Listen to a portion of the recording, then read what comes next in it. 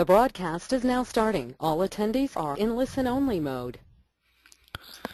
Good afternoon, and welcome to today's webinar titled International 101, How to Succeed in the Global Aviation Market. I am Matt Griffin, the Director of Regulatory Affairs and Education at the Airport Consultants Council, and it is my pleasure to be the host of the webinar today. This is the second webinar to be sponsored by the ACC Young Professional Forums, and we have well over 100 sites registered for the event. This is one of many initiatives that have been undertaken by the ACCYP Forum, and we will have more information on the forum and its activities in a moment. For those of you not familiar with ACC, we are the international trade association that represents private businesses that help plan, design, operate, and supply airports across the country and around the world. ACC is the only association that represents private sector businesses involved in airport development, and part of our mission is to help promote beneficial procurement and contracting practices that enhance opportunities for companies like yours to compete in the marketplace. We also provide opportunities for members to receive technical training, on a number of varying topics related to airport development, network and develop professional relationships with peers and airport clients, and interface with decision makers at the FAA, TSA, and other federal agencies on regulatory guidance and AC updates. I'm now going to open up a poll uh, to ask each one of you to let us know how many folks are participating at each of your site. Um, Please select one of the five options here regarding how people are watching, how many people are watching at your site. While you're doing that, before we get underway, I have a couple of important logistical notes about the webinar. First, participants on the call will be muted. We encourage you to ask questions using the questions window on the right-hand side of your screen. I will collect the questions and relay them to the webinar speakers at the end of the presentation. Also note we will send you a copy of the presentation and a survey later today. Finally, as you are taking the poll, I want to remind you that you may notice a slight delay as I advance the slides. We appreciate your patience as we move through the presentation. All right, let me close the poll before we... I'm now pleased to introduce the leadership of the ACC Young Professionals Forum, uh, Zach Varwig and Carly Shannon. Real quick, uh, Zach is the systems analyst at Faith Group LLC, specializing in the planning and design of security, safety, operational, and information technology systems for aviation, transportation, and government facilities. He graduated in 2012 from the Miami University Farmer School of Business with a degree in finance. Carly Shannon is the vice chair and is project planner with CNS companies. Her experience consists of airport master plans and airport layout plan updates, sustainable master and management plans, lead administration and staff training, and development of strategic waste management and recycling plans. Carly has a bachelor's degree from Boston College and is pursuing a master's from the University of Florida. You can see their full bios there on the slides. And with that, I will turn it over to Zach, who will provide a little more uh, overview of the ACCYP Forum. Thanks, Matt. Do You want to jump slides? Yep. So uh, as a quick overview for the Young Professionals Forum, we really focus on three areas, uh, promoting education, leadership development, and developing networking opportunities. Um, falling out from those, from an education promotion standpoint, you know, we sponsor webinars like this one. Uh, I'm very excited that we've had over 100 people sign up, or 100 sites, I should say, hopefully more people sign up for this webinar. Uh, we also sponsor events at many industry functions, and we um, overall give opportunities for young professionals in the aviation space to participate in conferences and speak on panels. I, I think from an education standpoint, uh, that's crucial for moving through the industry is you know you continue to build not only your company's brand but your personal brand. Uh, we also develop leadership development opportunities um, through mentorship programs and also leadership within the Young Professionals Forum. And then finally, uh, from a networking standpoint, we do sponsor a annual innovation competition, which encourages ACC members to reach outside of their firm. Um, more information on the innovation competition after we're finished with the webinar. Uh, we also sponsor receptions at many different industry events, um, mostly sponsored by the ACC, so please keep your eye out for those opportunities and those events so you can network with your peers. Next slide, Matt. So jumping into the content for today, this webinar is based around feedback that we received from a poll we do a few polls annually of everybody in the ACC YP forum. Um, one of the things that fell out was the YP group, or I'm sorry, the YP forum wanted to have a webinar on how to succeed in the global aviation market. Um, the things that we pulled and we found out of that, we, we wanted to focus on the pros and cons of working abroad and the skill sets required to succeed, uh, understand what proper preparation and culture barriers that may arise in doing business overseas, um, navigate the contracting and other legal complexities that arise from doing business internationally, and then finally, how to better market and sell to international clients. So those are our focus areas for today's webinar. And to start us off, we have Keith Thompson. Keith is the Aviation and Transportation Global Practice Area Leader for Gensler, and he's been a practicing professional in aviation, facility planning, and design since 1980. Uh, he has a lot of international project experience just in the last five years, having worked all over the globe from South Korea to Guam to New Zealand, Mexico, Singapore, China, and Taiwan. Notice none of those places are going to be especially cold, so Keith knows how to choose a good site. Um, and he graduated from MIT in 1980 and got his MBA from UCLA. So without further ado, I will turn it over to Keith. Yeah, and South Korea does get cold, by the way. Just oh, that's southern South Korea. Any part of South Korea can get cold. Um, yeah, good to meet you. I've uh, not such a young professional anymore, but what certainly was back in the day. Next slide. And thought I'd share with you just some uh, some basic stuff about doing work internationally. I, a lot of what I think was alluded to in the topic has to do with marketing and contracting. And as a young professional, I'm not entirely convinced you'll be thrown into that mix yet, although there'll be some aspects of it that you'll certainly need to be familiar with. But I just I've kind of broken it up to getting there, being there, uh, and working there. Uh, some things that people seem to forget, and I've been surprised that people don't seem to have this. If you really want to work internationally, you need a passport. Uh, some people are surprised when you say, hey, we've got to do this. Oh, I don't have a passport. Well, it takes time to get it. But more importantly, you need to have six months remaining on it, or many countries won't allow you to enter their, their country. So be sure you've got a passport. It's sort of the first step. Uh, visas, uh, some countries are easy to fly into, others take some doing. Uh, the, the visa process can be very simple in a lot of countries, but in places like Brazil, I actually applied for a 10-year visa in Brazil. It took one month to get the visa, and at that period of time, or during that period of time, you actually have to turn over your, your passport to them, and you don't get it back for a month. So think ahead when it comes to visas as well. Travel, you know, since uh, young professionals are not always the ones that get the upgrade to business class or first class, uh, I'd say, you know, pick your airline. Uh, a lot of airlines have 31-inch pitch, some have 32. If you're doing a 10-hour to 14-hour trip, that seat is everything, and you'll want to get on and use SeatGuru or something like that to find a seat that's at least reasonable given you may be flying coach. Uh, there's a premium economy, which is a relatively new and, and not always discovered service level that's kind of halfway between business and coach. I recommend it highly as a cost-competitive alternative to business class. Uh, if you're picking your hotel and it's not done by somebody uh, around you, uh, aside from doing some of the searches on on uh, TripAdvisor or things like that, check Google Earth Street View if you have a choice in where your hotel is to see what the street around it is like. You could find yourself in the middle of a red light district without you knowing it, or if you want to be in a, a lively, trendy area or a quiet neighborhood area, you can make those kinds of decisions better that way. Currency, when you get to where you're going, people typically look for exchange desks, but frankly, ATMs are about as easy and, and more straightforward than, than, uh, than exchange desks. Keep in mind you're probably going to be charged a service charge, so when you submit your expense report, don't forget that what you've got on your on your credit card slip may not be all you pay. You may need to look at your credit card receipts and file a subsequent uh, subsequent one. I always keep, I just was looking at today, I've got about 15 different currencies with me most of the time. I never turn it all back in and try and reconvert it because you never know when you're going to need it again. Plus it makes for actually interesting conversations when you pull it out at a, bar somewhere. Uh, emergencies.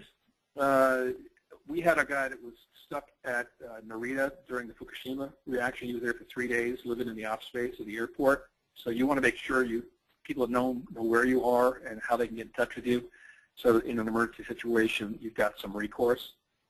Uh, and then language, uh, I, I use LingoPal on my iPhone. It's kind of an interesting app for getting around hotels and restaurants and so forth. But clearly, if you have a language skill, and that'll come up later, having a language skill in the country you're going to is really, really, really useful, even if it's rudimentary.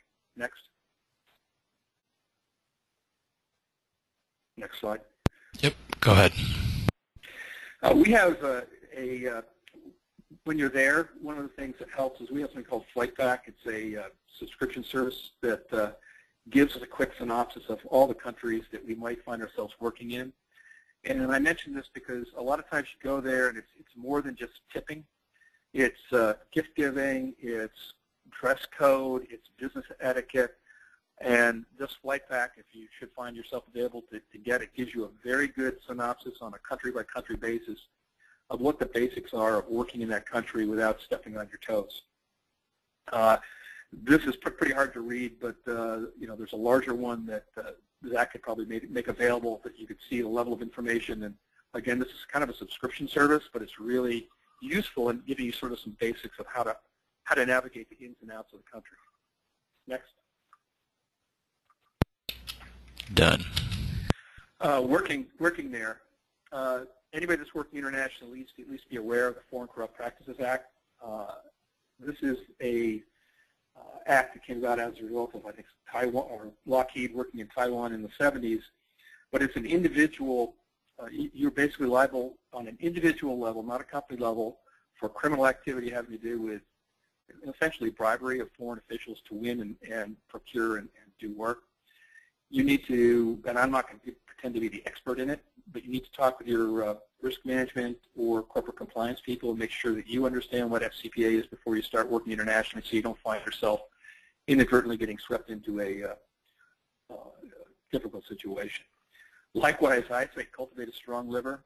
You know, a lot of places you go, there's a lot of drinking.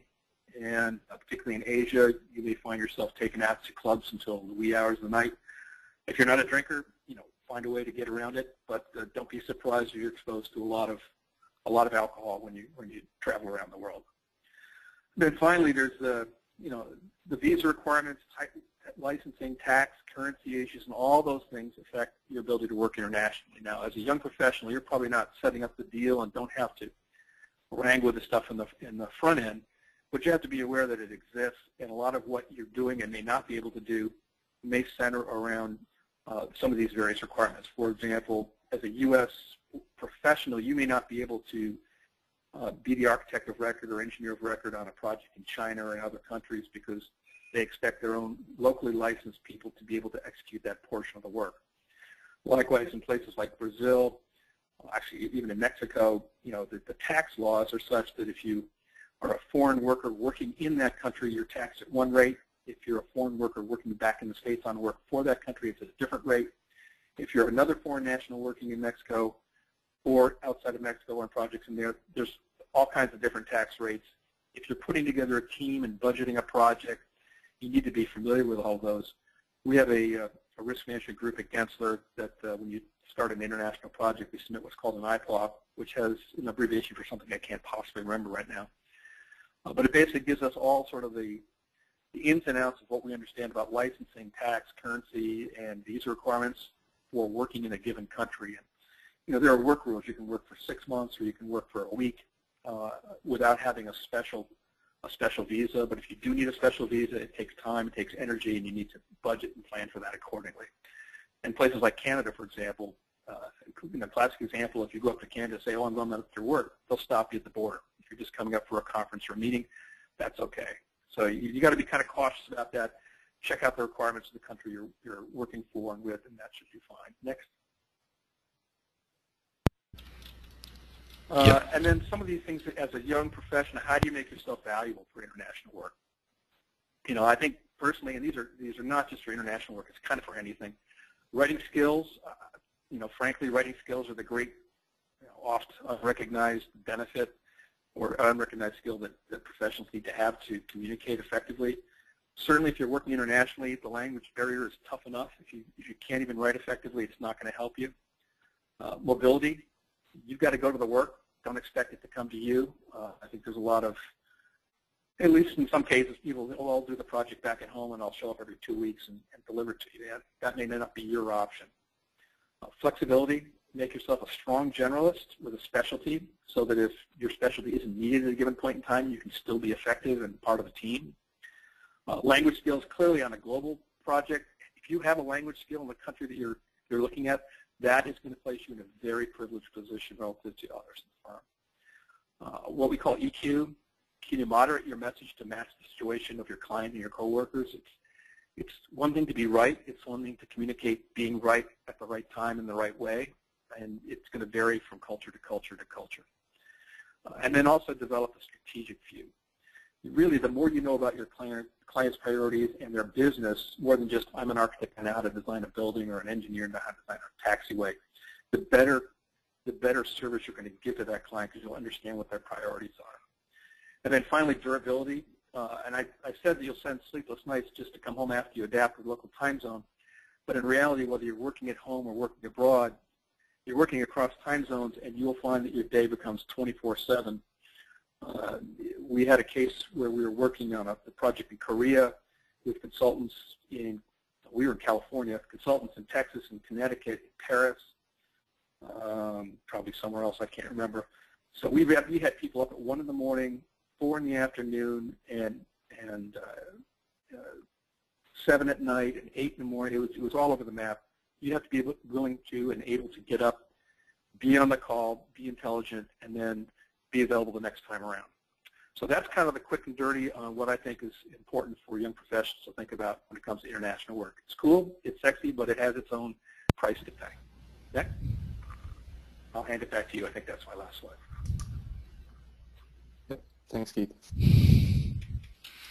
I believe up next we have Finn Bonsett, if we want to move to the next slide. Yep, he's uh, Atkins Sector Manager for Aviation Planning. Finn's been practicing professional in aviation master planning, aviation software development, and international training for planning professionals since 1999.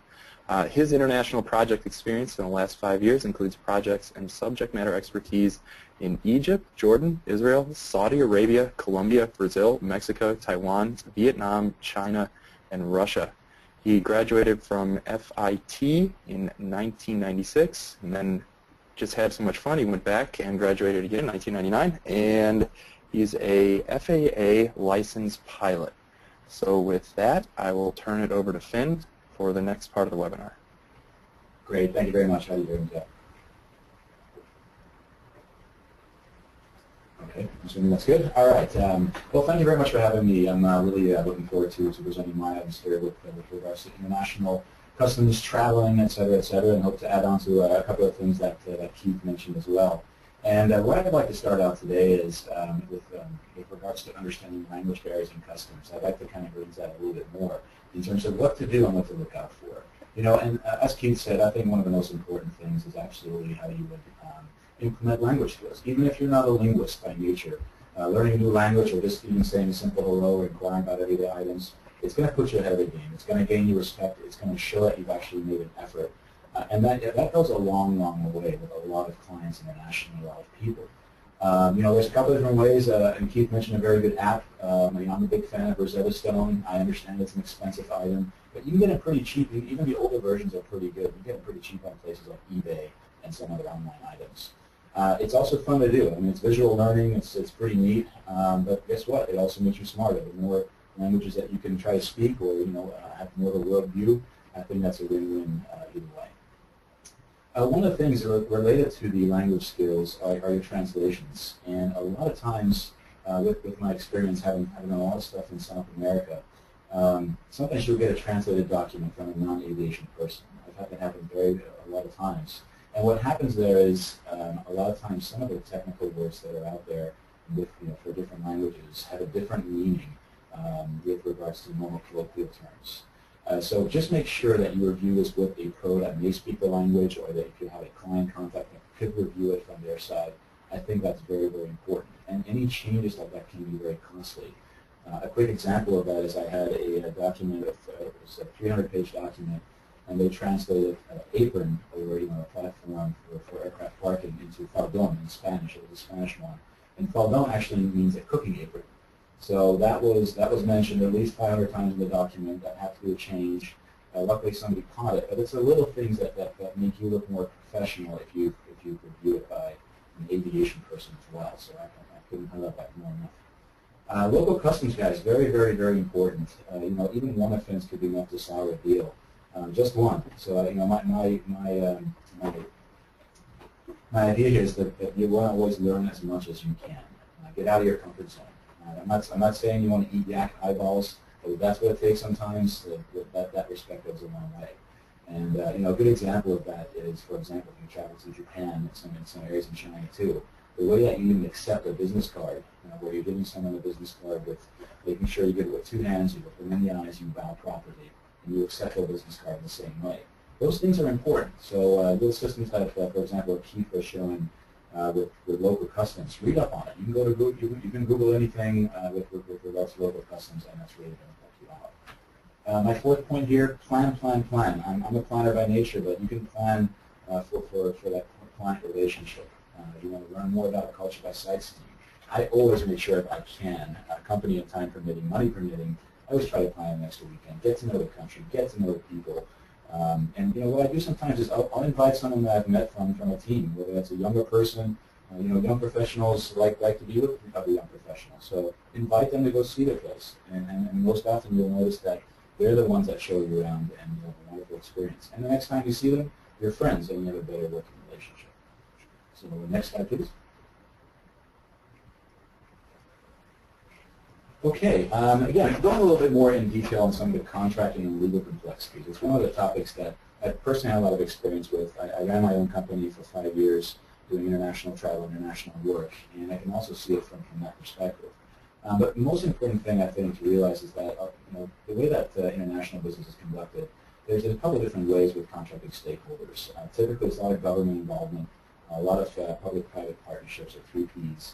Um, the systems typically have or involve multiple banks in terms of funding. It's not where uh, we have FAA you know, funding here in the United States like an airport improvement program or a giant trust fund. A lot of the money internationally comes from the government through different types of, um, of factions and, and, banks. So that makes it a high bureaucratic process. So, so, so those systems also take a lot longer. Uh, there's also a, a, a, higher involvement from the DGAC. That's, that's your typical your FAA or your, your, your ruling agency in terms of aviation in the country. Um, and there's also various aviation factions, and they're not always the same. Uh, if, if, you go to places like Brazil and you go to Colombia and some, some other places, um, a lot of the, the items such as airspace are, are, are, run by the military, and sometimes it's very, very difficult to get through to them, um, especially in setting up meetings. And a lot of times the military won't talk to the general aviation folks, for example. So those are some of the barriers that you could expect and uh, like anything else, we do have to deal with. Uh, tax issues, you know, I won't go into too much here. There's a lot of words here, but uh, you know, the main thing I want to talk about tax issues is a lot of times uh, when a foreign company hires a sub-consultant or, or, an expert, for example, U.S. firm, um, they typically have to pay taxes on that because they've hired a foreign firm. So just make sure that if you if you are looking at scoping and budgets, that that's included, and you want to talk to your potential clients, or you want to talk to a client about this. Um, you know, and that leads me to the next point here in that same sentence. I mean, watertight contracts that you think are watertight uh, are almost you know are almost impossible. A lot of governments like to change. So if you have an unstable government, an unstable climate, um, contracts do change, and, and they could cancel a contract even if it's written somewhere where you can't.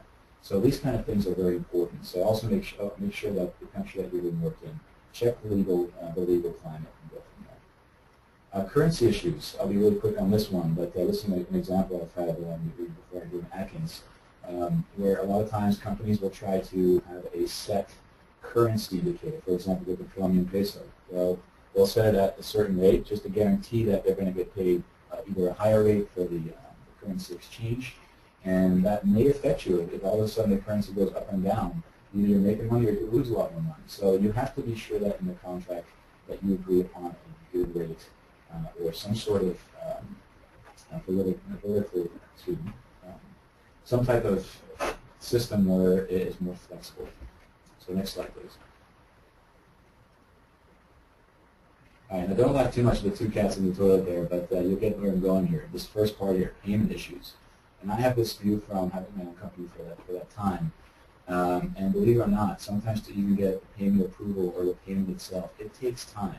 it works a lot differently than we're used to here. There's a lot of assurances in the United States for payments and for contracts. Again, um, based on my experience in, in, in, places like Brazil, Colombia, Egypt, um, a lot of times you have to go over there and talk to a couple of different people to get the ball rolling, uh, to get that contract start, you know, get that contract paid. Um, so what's important, and this is, I, I, can't tell enough, if you're a young professional and you're on that side of the spectrum with, with finances and payments, it's always important to maintain constant communication with a financial person on the other side. Uh, you know, to the extent where it could be bothersome to do that, uh, but that does ensure quicker payments and contract applicability. Uh, and just realize in many countries that this is the norm. It's a different, it's a different way of, of cultural norms. Second point there, law of the lands. Uh, courts of law differ significantly in foreign countries. Um, it's kind of a no-brainer, but uh, you know the, the, best way to handle it, and what, what, I've seen a lot in business, is you know, hire a local law firm uh, or, or, lawyers that understand the system. Uh, it's very difficult, especially if there's a language barrier in, in, in, trying to get contracts signed and trying to get payments, like I said before.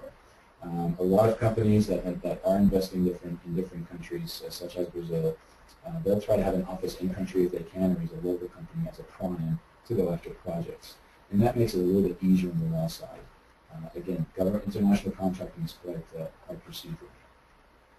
Uh, FCPA, Keith mentioned already, but I can't I can't mention it either. Uh, FCPA always adhere to the, Foreign Corrupt Policy Act. Um, you know, Big Brother is certainly watching now with a lot more uh, spying and things coming out of that nature.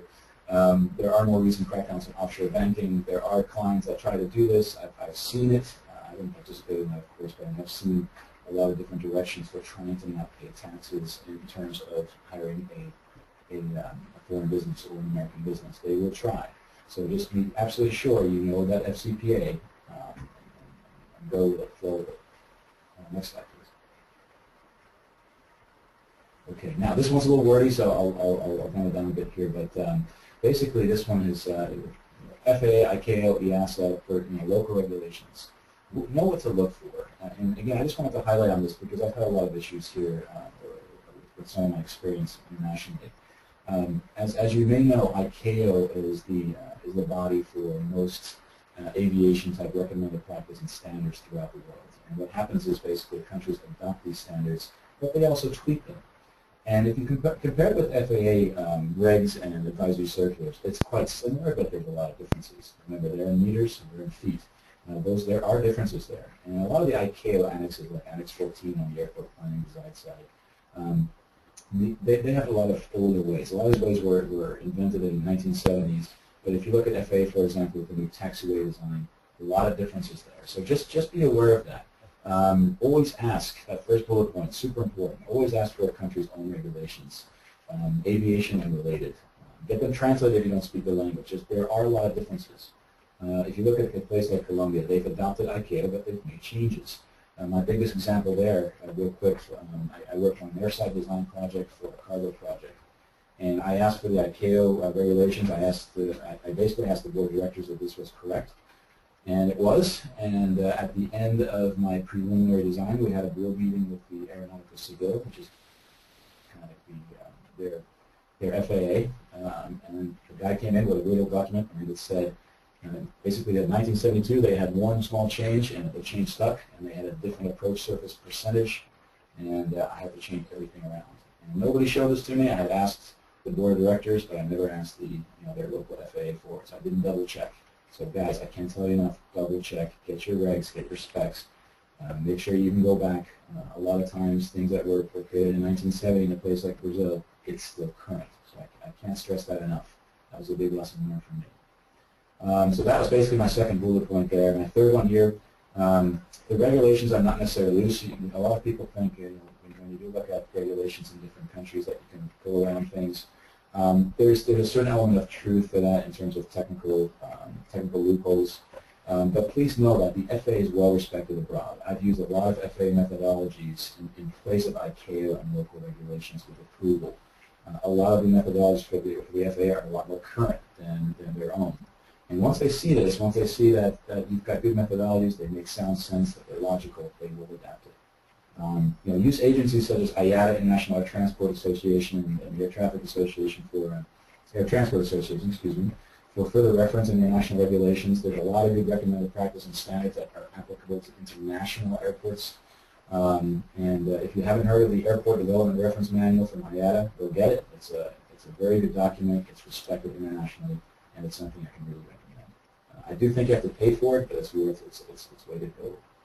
Um, and the last one is what I've already talked about a little bit here, but um, you know, I've, I've, actually used the new advisory circular in, in international projects uh, to save to save costs on photo design, uh, even when it was preliminary, and that, that's helped my clients out a lot. Next slide, please.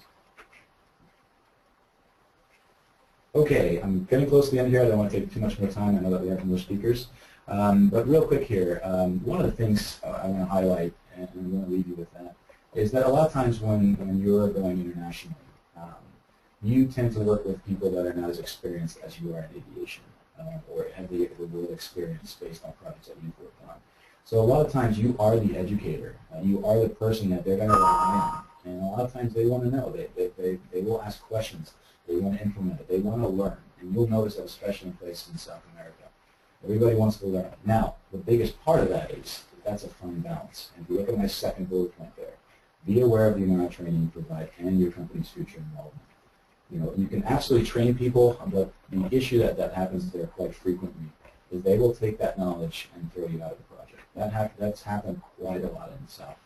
Um, so you have to be careful it. It's a fine balance. Uh, you don't you don't want to train your way out of a project that they can do everything that you can do. Um, and it, it, sounds weird to say that, but it's the absolute truth. I mean, it's great to have uh, sharing. It's great to teach, uh, to get everybody up to speed in different countries. However, again, we're consultants, we're aviation planners, we're, we're, we're businesses, so we have to understand um, that it's important to find that balance between giving away too much information as well. You want to remain the expert. So having said that, um, you know, a little picture of me on the right here. The one, you know, one, one thing I can say is, guys, enjoy the travel. It's something great to do as a young professional. It's a great experience. Have an open mind, and uh, I'll leave it with that. So um, thank you for your time. I'll go to the next presenter.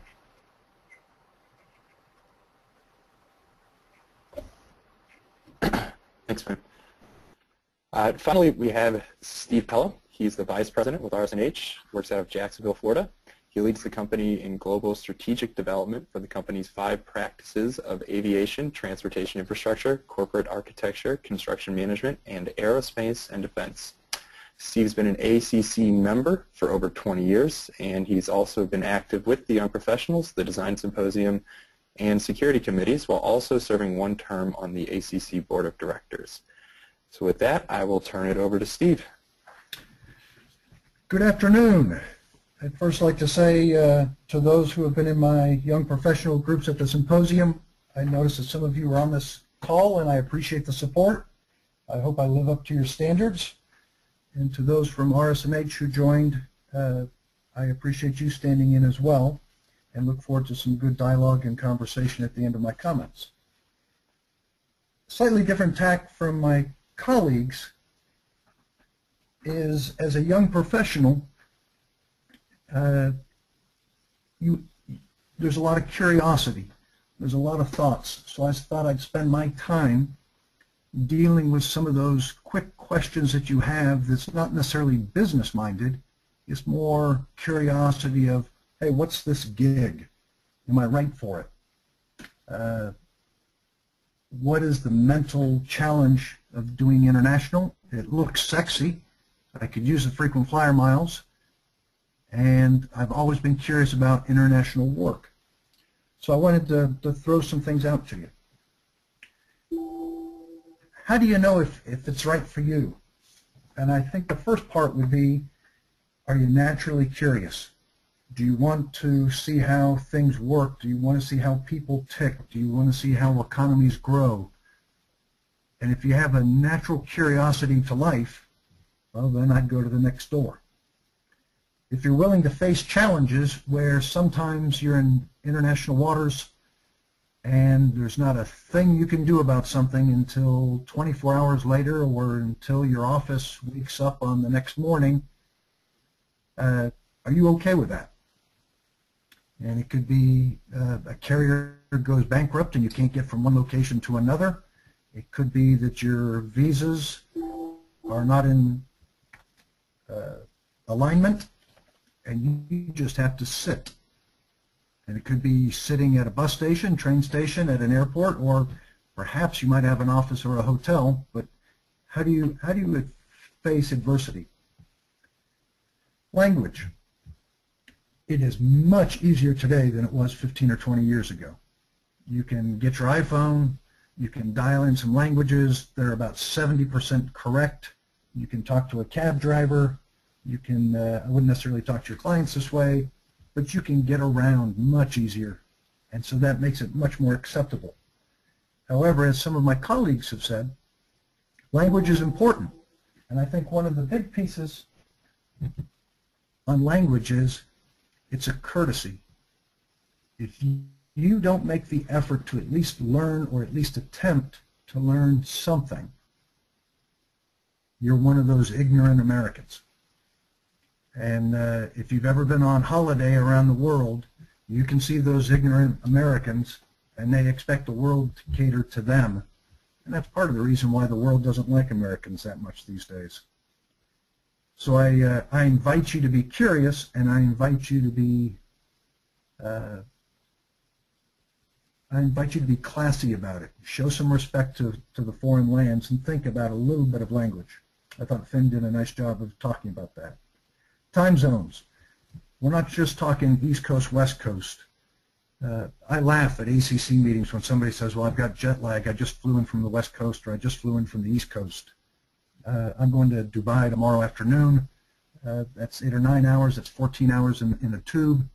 And you know what? Meetings happen still in the U.S. that I get to make all during the night, and then I get to work all day in Dubai and Abu Dhabi. So think about what type of time zones might be your limit. What about family and loved ones?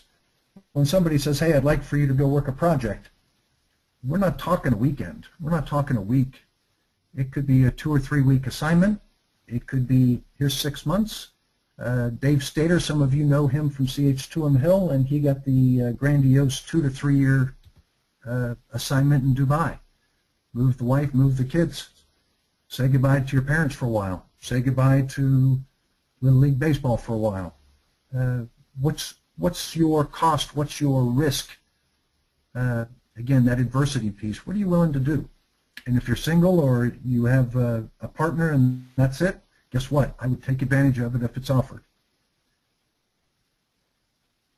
Are you professionally proficient? And Finn mentioned a little bit of this. Know where you are in your career because you will be teaching. A lot of the world, especially when you go to Asia, looks to use your proficiency for about 30% of the work, and then because you're high-cost labor, they will look to use lower-cost labor for the rest of the work. So know your proficiency and your cost. Is there a chance to step up in your career? Hopefully it is by doing something, but if it's just a two-week assignment, that's not stepping up in your career. Your company is looking for young professionals, and at RS&H we're looking for them every single day to say, yes, I'm willing to go and serve. I'm willing to go and do some of that time overseas, uh, not just parachute in and parachute out. Clients know when you parachute in and parachute out that you're really not dedicated to them. Are you willing to go through, actually I should ask, when's the longest you have been gone?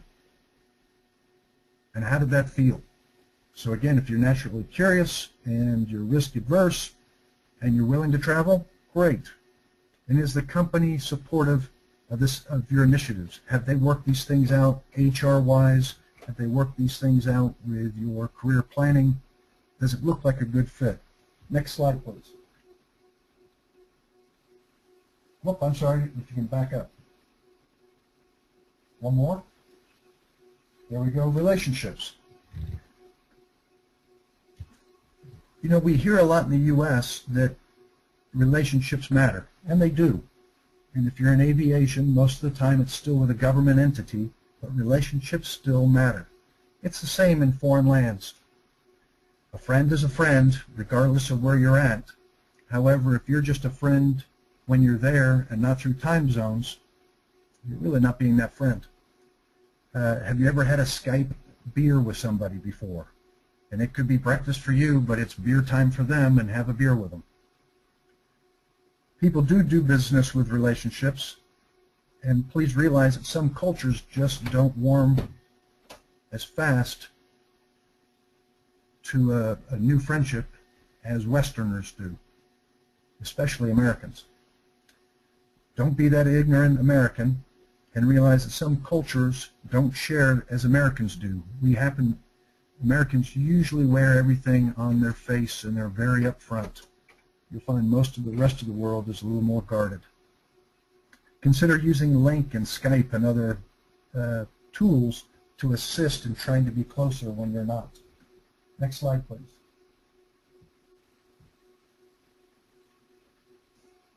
That timing thing. It's been mentioned by Keith and, and by Finn. But if you have one project and it's just a one time zone, well, that's okay. Is it a project? Is it a client? If you have multiple international clients on multiple clients and multiple continents, and before you say yes, uh, I know that Finn and Keith and I all deal with some of these situations. But I can have dinner with my family on the east coast of the U.S. and then I go back into my home office and I'm on the phone from 9 p.m. until midnight dealing with Asia. I'll get a five-hour sleep. I'll wake up and call the Middle East from 5 a.m. to 6 a.m. Might work out or take the kids to school. Then I will call Europe then I will go through a, a, few things that I need to get done myself in my own office. And then I start thinking about South America because they're a few hours ahead of us. And then, oh, by the way, there's your domestic job as well. And when you start thinking about that around the clock, and it's not just one day, but now you're thinking, well, the Middle East operates Sunday through Thursday, and what about the rest of the world? and all of a sudden you have one real true day off, which might be Saturday. So think about those things as far as as you go forward. Next slide, please. I was asked to list some organizations. If you're a young professional who's just thinking about doing some work yourself for your firm, or you are granted the license to say where should we go and what should we do and who should we contact, I offer these organizations to you. They're good to start with. Their money, first and foremost, is usually all protected and paid in the U.S. For instance, if you do business in Africa, one of the first questions is, where is the money today? If you're working for one of these organizations, you know that it's already in a Western bank. These organizations usually end up doing more planning, education, or environmental type work uh, with the exception of maybe uh, Millennium Challenge Corporation and World Bank. Uh, and again, some of the things are just starter pieces. ICAO will get into a little bit more depth depending on the country, but they can guarantee you that the money is in their bank uh, before they ever offer uh, the work to the consulting community. So be, uh, be curious, look at those websites and see if some of those uh, are good for you. In some cases, it's a one-up project. You parachute in, you do the work, and it can be a great entry into a very rich relationship with future clients. Next slide, please. Here's some fun ones. Realize that international is a business. You're trying to grow your company. You're trying to grow the profits. You're trying to grow the return on investment that your investors, your owners have put forward. So when you go abroad, who is your competition? And it might be other U.S. firms, but the reality is it's usually Western firms. Europe is really our competitor. There's a lot of great Western uh, European consulting firms, as is the, in the U.S. And you will find them in South America, you will find them in Africa, and you will find them in Asia. Understand who your competition is and how good they can be. You, as an American, are a high-cost labor in most countries. So as you think about putting together a team, how are you going to offset the cost of your team because you're on it? Uh, it's not, uh, I mentioned a little bit earlier, in some countries you can have up to 30% maybe is Western expertise, and they will finish off through a design institute the other 70% of the work, or perhaps you might have Western labor lead a team and you can hire local engineers or architects or planners to offset, offset your cost and work uh, under your direction. Understand your role in reporting. You still work for your current firm, although your client is the client and you might be in a joint venture or some other uh, type of arrangement to which you need to understand who do I call first when something hits the fan.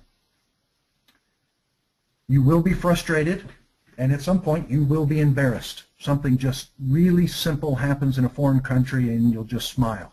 And that's all you have, that's all you can do is smile.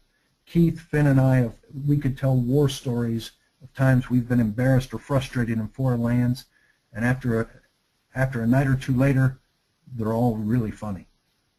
But please realize it's going to happen. Uh, the assignment overseas does not necessarily mean that you're a mercenary and it's really big dollars. It could be. I've, I've seen some folks who have not been back to the U.S. who are Americans and they haven't been back to the U.S. in 10 years and they go from large infrastructure to large infrastructure project and they love it. So be reasonable. What's the appropriate thing? Do you have kids to be schooled? What about uh, your partner and, and uh, their work? living arrangements, transportation, transportation arrangements.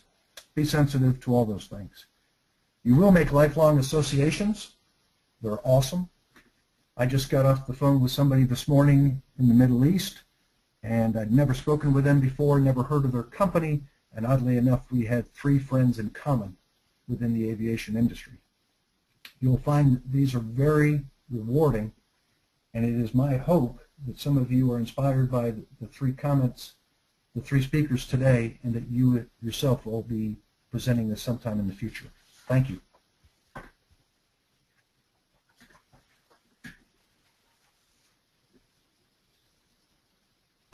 Thank you, Steve. Thanks, Steve. yep. I, uh, with that, uh, we conclude our um, webinar-specific content. I uh, just wanted to go over YP activities before we jump into the questions. Um, if everybody who called into this call is not on our ACC contact email list, uh, we will have contact info available at the end of this webinar.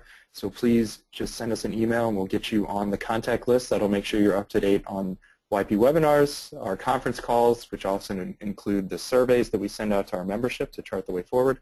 Um, and we'll also keep you up to date on the YP Innovation Competition. I, I just, not to hijack the webinar, but just for one minute, I wanted to highlight the Innovation Competition.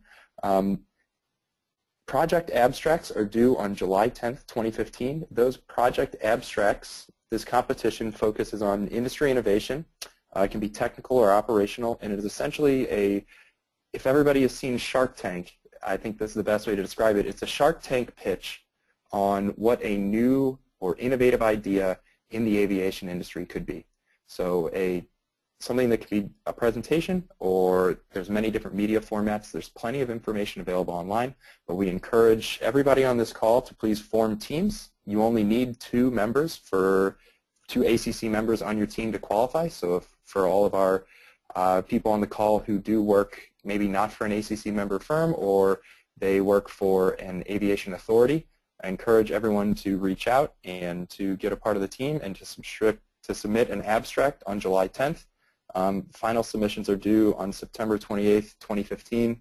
Uh, prizes, first place prize, you are uh, open for a presentation at the ACC Design Symposium, and every team member also wins $500. So that's all sponsored by the Arnold W. Thompson Charitable Trust.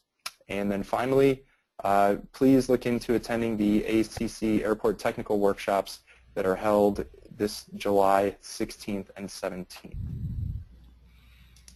So with that, I think we can... Yeah, Zach, real quick before we jumped on, I also wanted to take an opportunity to remind everyone of the ACC committees. You should have them all there in front of you. Um, along with participating in the ACC YP forum, a great way to get directly involved in ACC and the industry in general is by participating on the ACC committees. Um, you can see we cover a broad spectrum of topics.